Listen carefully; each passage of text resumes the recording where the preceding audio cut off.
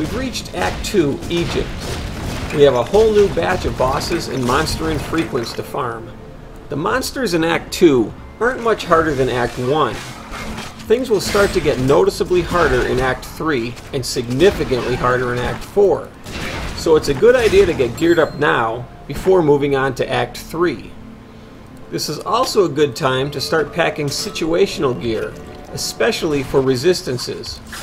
The first boss you will encounter in Act 2 is Scarabaeus. He does massive poison damage, so if your poison resistance is low, swap out some of your regular items for poison resist items. It will make this fight much easier. The first monsters you will face in Act 2 are Jackalmen. You will find lots of these throughout Egypt. They do drop monster infrequents, so let's take a look at them. They drop items for both caster and melee classes. The Jackal's Harness and Wrist Guard are probably the two best items. All of the items are very rare, especially when you consider the hundreds of Jackalmen you will kill on a normal playthrough. I didn't find any of these items on my current playthrough. If you do want to farm them, any place with Jackalman camps will do, but I would probably recommend Fayum just because it's close to a prime Dune Raider farm spot, so you could do both at the same time.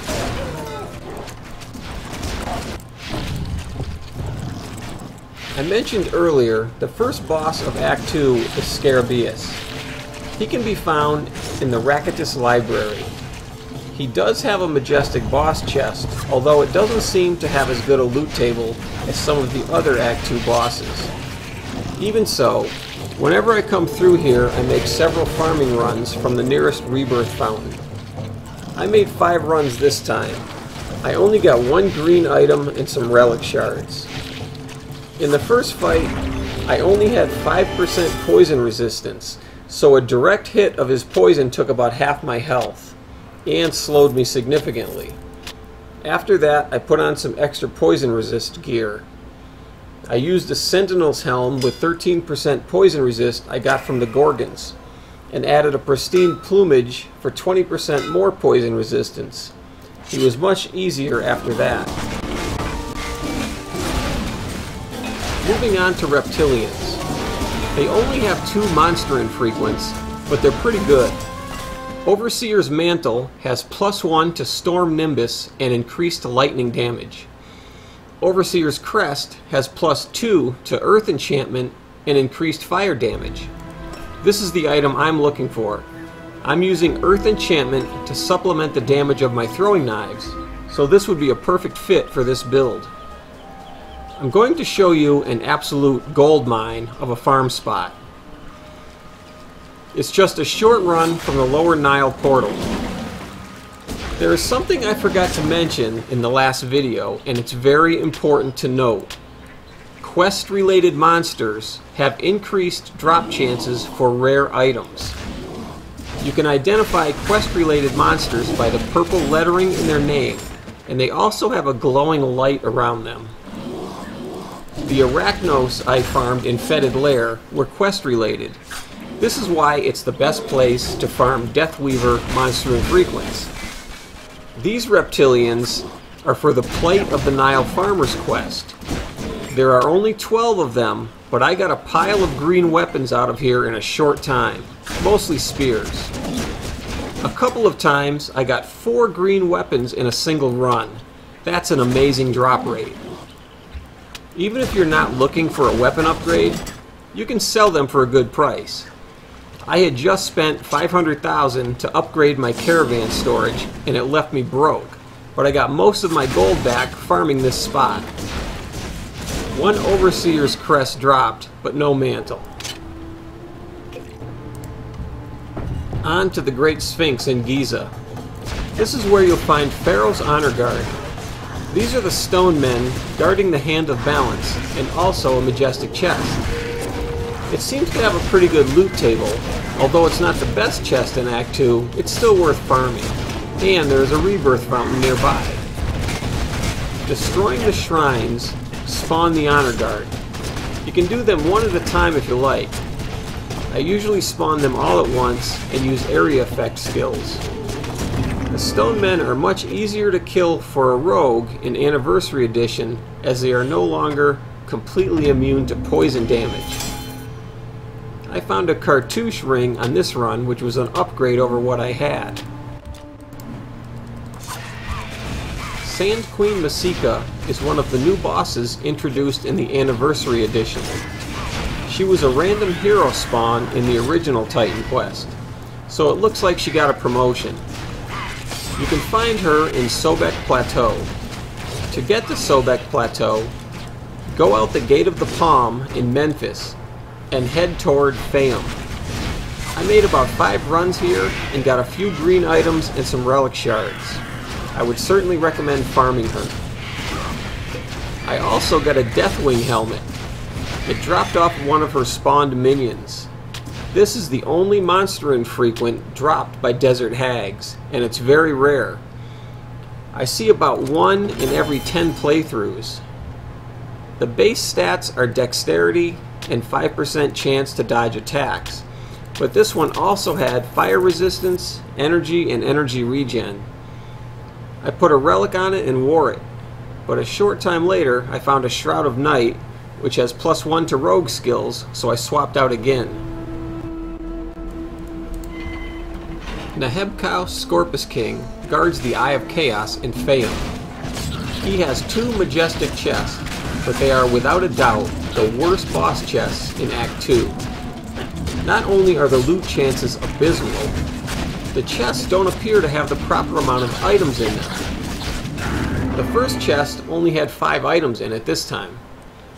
That's about what you would expect from a bone pile. He's a fairly easy fight and a short run from the portal, but he's still not worth your time. I came back later to find double chests had spawned. There was only one green item out of four boss majestic chests, and not even one relic shard. I did 5 runs here overall. That's 12 chests, including the doubles, and only found that one green item. Certainly not loot worthy of a boss. Now that we've reached Fayum, it's time to focus on Dune Raiders and the holy grail of Act 2 monster infrequents, Eldritch's Bow. They also drop windswept armor pieces that have life leech retaliation. These might be useful for specialty builds, but the bow is the real prize here. It will always have attack speed and projectile speed, and as with all monster infrequents, you could get additional stats if the random number generator is good to you. This bow will only drop off Dune Raider pillagers. These are the archers riding a hyena beast. You typically only find about two pillagers per Dune Raider camp, so unless you get really lucky, it will take a long time to find one. Let's take a closer look at this bow. I am currently using Horns of Cypress, which is a decent epic bow. It has almost the same requirements as the Eldritch's bow. I added an Essence of Prometheus Flame to the Eldritch bow, which fits well with Earth Enchantment. My damage per second went from 310 to 411 with the new bow. I could have gotten even more damage out of it if I used a Poison or Bleeding Charm, but I went with fire damage to help against the many monsters with high resistance to poison and bleeding. Isnu, the Dune Raider chieftain in Fayum, has the best chance to drop the bow, because he is a quest-related monster. I would estimate that 50% of the Eldritch bows I found came from him. I'll show you a quick farming run if you want to try for this bow. You could just farm Isnu's camp if you like, but there are two other easy to reach places that are worth checking. After clearing Fayum, port over to Memphis. There are many Dune Raiders just inside and outside the southern exit. After you clear that area, port to Thebes. Head out the north exit. You'll find a couple of camps of Dune Raiders just a short ways along the path.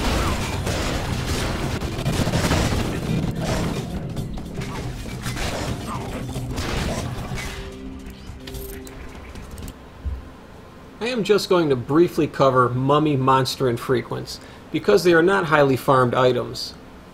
This is ceremonial armor. It only drops from embalmed dead priests.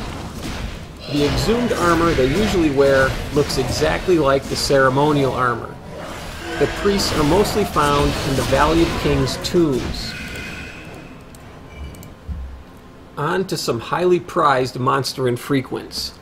Revenant Plate. This armor drops from Gilded Dead.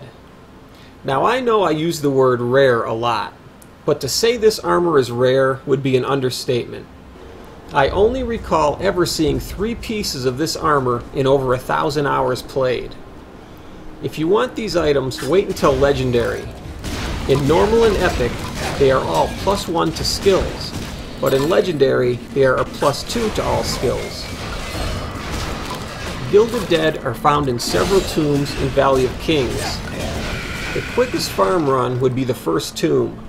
It's close to the portal, and the Gilded Dead are close to the entrance of the tomb. Your best chance, however, is probably in Tomb of Khufu. After you open Khufu's sarcophagus to get his staff, four Gilded Dead will spawn as you leave the room. These are quest-related monsters, so they should have an increased drop chance for Revenant Plate. Now here's the secret. If you leave Khufu's staff on the ground, you can get these skeletons to spawn again and again as long as you leave the staff. If you take the staff, they will no longer spawn.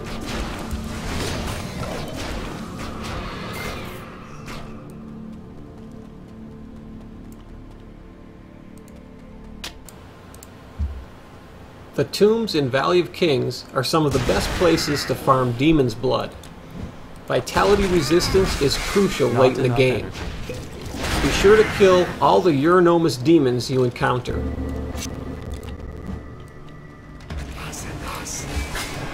On to the Telkine. He is the second to last boss in Act 2, and he probably has the best loot table in Normal. You can find him in Tomb of Ramses. He's not too difficult, just watch out for the rays of light he summons. They do massive fire damage. I made several runs, but didn't get anything better than green items and relic shards. If you were to spend an hour farming him, I'm sure you would find several blue items, many relic shards, and a few arcane formulas.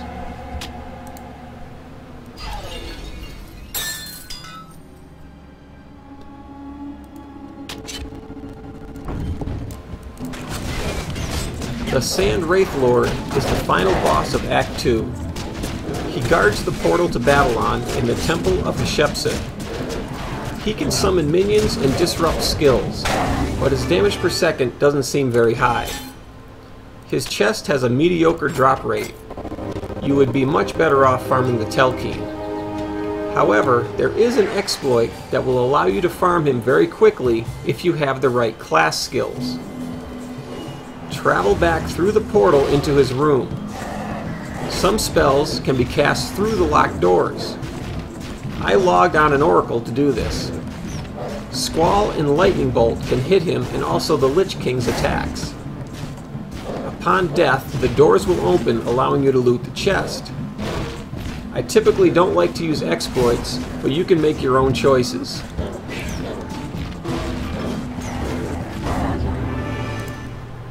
That's all for Act 2. Time to get to work on Act 3.